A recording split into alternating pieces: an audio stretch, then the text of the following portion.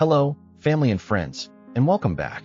If you've been following along in this series, you know we've been asking some very challenging questions. In part 2, we explored the roots of modern medicine and how often it seems that instead of curing disease, new diseases keep appearing.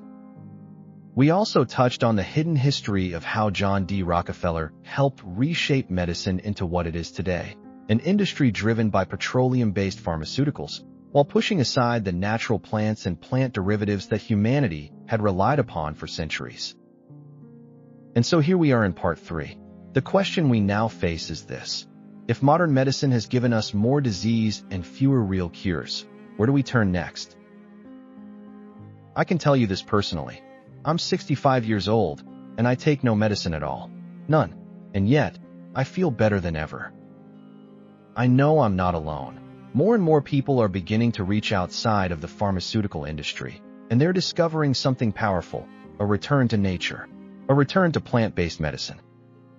And, at the very same time, an opening to cutting-edge technologies that don't require pills, potions, or injections.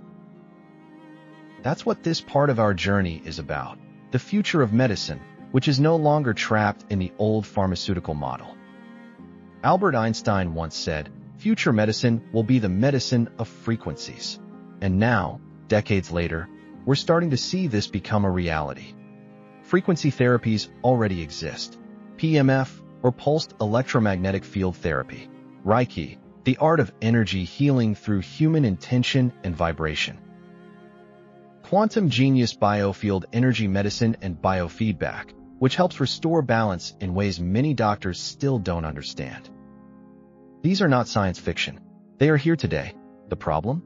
Most physicians have never been taught about them. And many dismiss them with ignorance, clinging instead to the same drugs that keep people dependent, but not necessarily well. But here's the exciting part. People are getting better. I see it happening. People in pain, people with chronic disease, people who had lost hope, finding relief and restoration through regenerative medicine. And regenerative medicine is not one thing, it's many.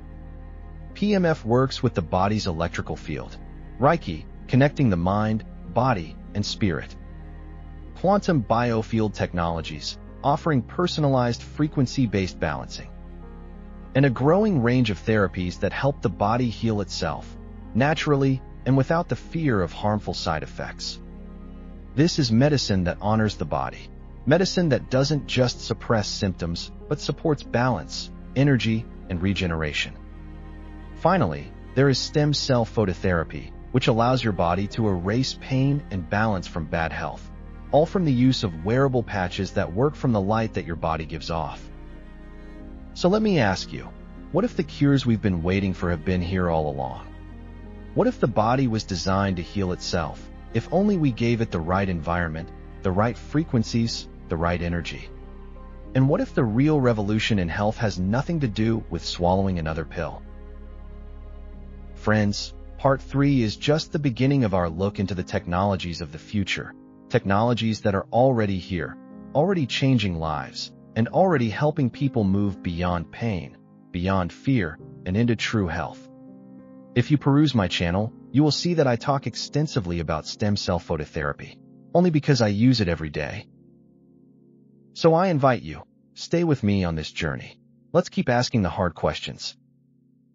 Let's keep exploring the natural wisdom that Rockefeller and his oil empire tried to erase. And let's look with excitement toward the new possibilities of regenerative medicine, frequency healing, and beyond. If this message resonates with you, do me a favor, click like and subscribe, and hit that notification bell so you don't miss part 4 where we'll dive even deeper into the emerging breakthroughs that are rewriting the story of medicine as we know it. Together, we can change the conversation about health and maybe even change our future. Thank you for being here. I'll see you in the next video.